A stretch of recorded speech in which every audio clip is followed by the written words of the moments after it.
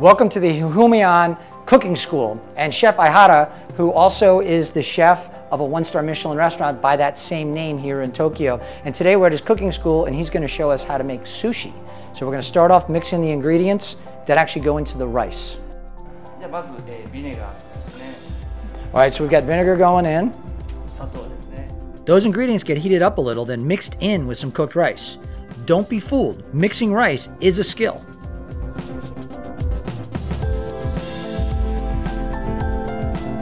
For the next step, we cook up a little soy sauce and egg in a hot pan so we get a nearly perfect rectangular omelet. One that I certainly couldn't make at home. And I'll admit, at this point, I have absolutely no idea how the eggs work themselves back into this process.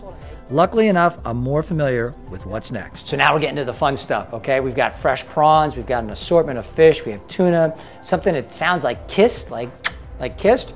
We have some red snapper, scallops, squid, and this is called horse mackerel. I've seen it on the menu here, but I think back in the States, I'm, gonna, I'm curious what the taste is gonna be. I think it's uh, what we call Spanish mackerel. So now we're gonna do some cutting, right? This is when the weapons come out. This is where the fun stuff is.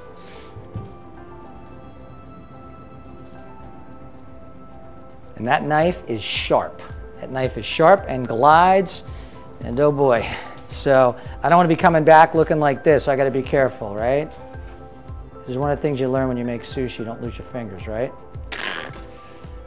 How am I doing? Is that, ay, ay, ay, not so good. Ah! All right, so I'm not the best at cutting fish, but it is a lot harder than it looks.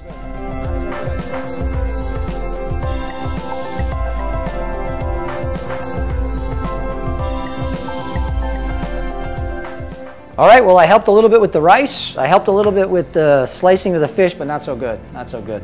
And now we're gonna put it together. Right here is some water with some vinegar, and you use that to keep the rice from sticking to your hands as you put it together. So chef, let's go.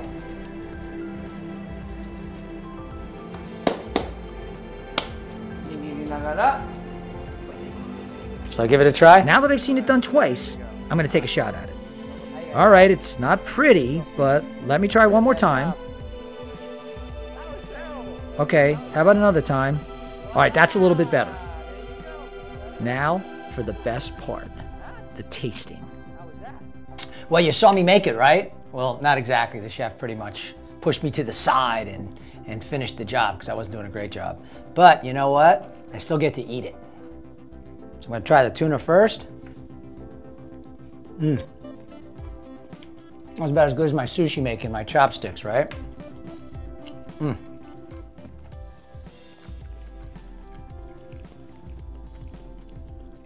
This right here, remember the egg? This is the actual egg that was being cooked and had the soy sauce and the sugar with it.